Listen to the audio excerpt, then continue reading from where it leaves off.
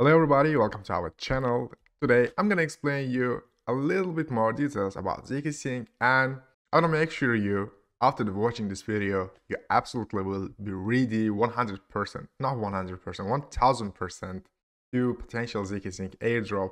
Let's get started.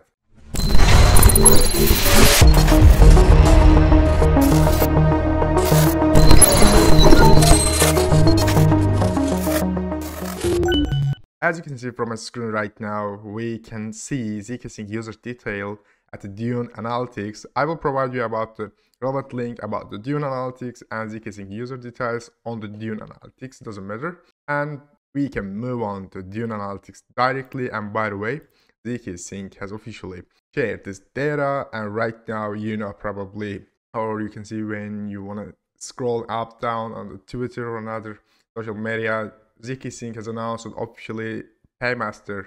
And this Paymaster, you can use a lot of coins.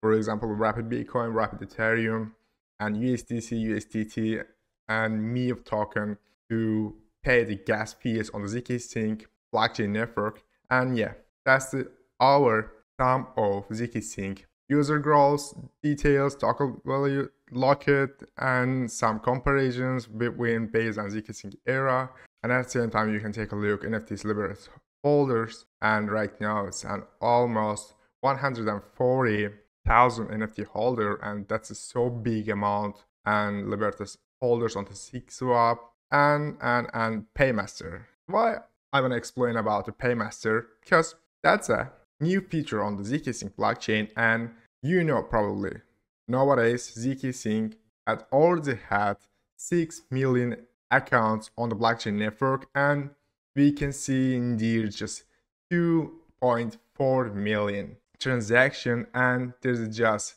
an almost 400,000 users 60 million users not users active accounts and in general accounts and indeed you can just see 400,000 users and if you are paymaster users you absolutely and sure, your wallet, I don't know how much you have wallet on the zkSync era, and you absolutely will be different to the airdrop. And let's move on. How can you use Paymaster?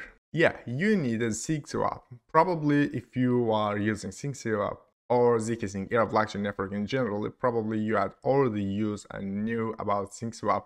And in there, you can absolutely choose from there if you want to use Paymaster.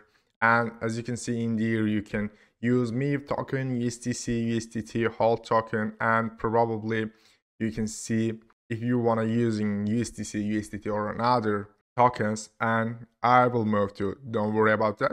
And you can get some discounts on the pay fees. For example, right now I an almost $1 to pay USDC and indeed I'm just choosing USDC to pay a gas fee on the zkSync era and I had just some of Ethereum and I want to swap 0.005 Ethereum for USDC and just click swap and I cover gas fees. There's no matter.